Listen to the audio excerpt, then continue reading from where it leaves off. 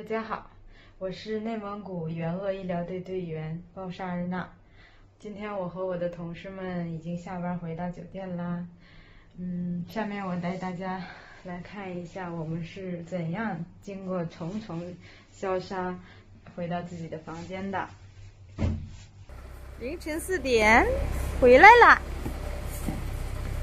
这是我们酒店的工作人员，每天我们回来，他们都会在这里等我们的。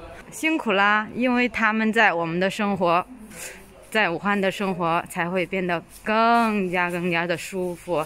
然后我们每天回来以后，都他们都会给我们，呃，全身喷洒消毒。然后这是我们的，呃，紫外线消毒棚，是我们两位领队连夜给我们弄的。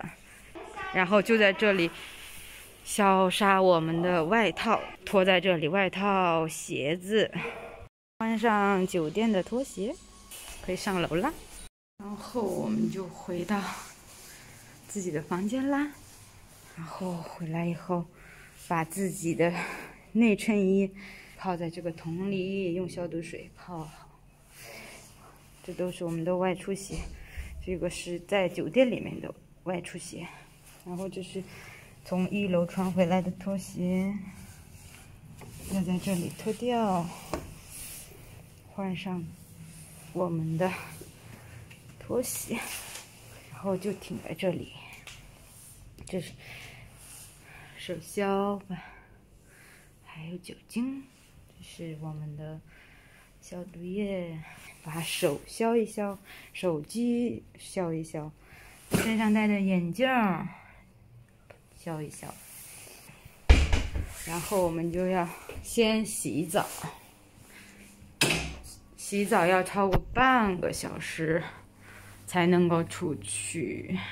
然后洗完澡以后，我们就可以回到自己的卧室啦。这是外外外面的一个房间，这个地方是放我的一些内衬衣什么的，半污染的。然后这是我的卧室啦。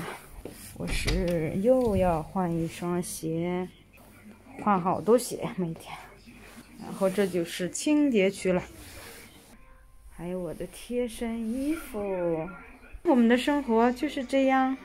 等疫情过去以后，是一定要再来一趟武汉的，感受一下武汉的繁华啊，感受一下武汉人真正的生活，再见见。我们一起工作过的同行们，还有我们治疗过的病人，嗯，到时候一定要摘下口罩，好好的拥抱一下。更多精彩尽在中国新闻网客户端。